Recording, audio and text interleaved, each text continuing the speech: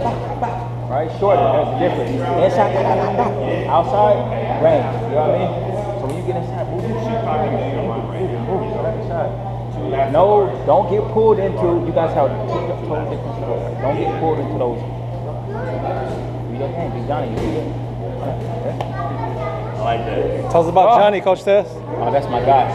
My guy. Hey, he's the captain, the oldest here. He been with uh, coach, and that's Juju's cousin. They've been together the longest here.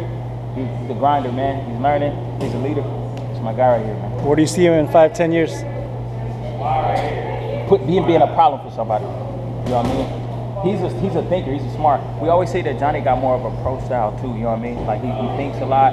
When he get in there, he'll be able to adapt fast once he get there. He's 17, man. So look out for my guy, man. My guy. What do you like about boxing, man? Love everything. I love that it's uh, it's not fighting. You know what I mean? Everybody's you know been in a fight before, but when I first had stuff in the gym, just to, you know, just to learn. I always been watching boxing since I was a kid, and just saw how it's just not just throwing punches. You know what I mean? There's range, distance, when to throw short punches, long punches, angles, moving, footwork, everything. You know what I mean? It's, it's, it's not fighting, man. It's a science to it.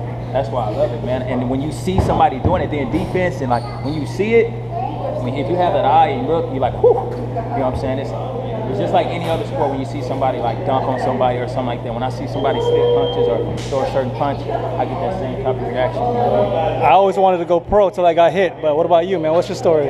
Oh, just um, before I ever, so um, Coach Berlin, that's my younger cousin. Before I ever stepped in the gym years ago, he had me, he taught me into doing a smoker. So I did a smoker before and like, I didn't make weight, nothing like that. Just jumped in it just for the sake of it. Get. I did pretty good, man. You know, I mean, I threw up everything. It was like the worst. I lost everything, just to be honest with you. That made me, because I had already been watching it when I was younger, so that made me want to go in there. And then I just went in there and trained and just came a little gym rat like everybody else. But I was always a little older, so I just wanted to learn. And that me just wanting to learn and not really like wanting to fight, you know what I mean? I was a father already. I just wanted to like learn, learn the sport, and then that's what turned me into being strength and conditioning coach and then assistant boxing coach. And you being the strength and conditioning coach, what's the difference between uh, helping a younger teen compared to a, a professional fighter? Um, well, there's, I mean, there's certain things that a younger kid you can do with an older guy that you can't do with a kid. You know what I mean? So with me, be honest with, you, I just, I push. I mean, boxing is, crazy, man. It's like the best workout. Like I train people that don't want to box. You know what I mean? Just for, you know, just to get in shape and just for fitness. And you can like, I treat it like somebody like a, I only uh, trained a couple pros though, but not too many, mainly just amateurs and kids and just people that work out. And you can do real like life, like pushing to the limit type stuff with, uh, because they got fights on the line when it comes to like a professional.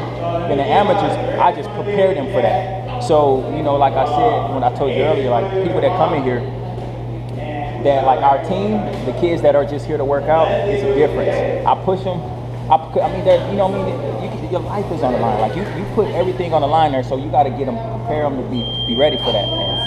Our whole team is they sharp and they ready, man. They don't complain at all. They work. I grind. I, I can't even do. I can do what the stuff that they do, but I can't sustain it for as long as they do it, man. To be honest with you, I'm almost 40 years old, so they be grinding, man. Tell us about Bomber Squad. Bomber Squad is, I mean, spot in El Cajon that uh, Coach Berlin and Jack started. With Juju, they had a vision.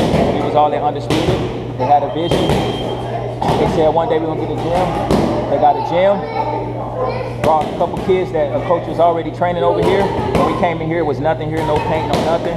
And then now it's like a really, it's like a staple in the city right now with the community and with, with all the amateur boxers around here. So, and we got we got um, amateur boxers from all through San Diego County and a couple of pros. So this is the future of boxing right here, the Bomber Squad. Hey man, we grinding. I'm, I'm- we're very humble. We grinding. Just know we. That's it, man. We respect the sport. We working. We got a lot of friends. All the other gyms around here. We working, man. And last question, Coach Tez, tell people where to follow you on social media. Uh, I'm only on Instagram, so it's uh, chilling two, C H I L L N underscore two. There you have it, y'all. Coach Tez.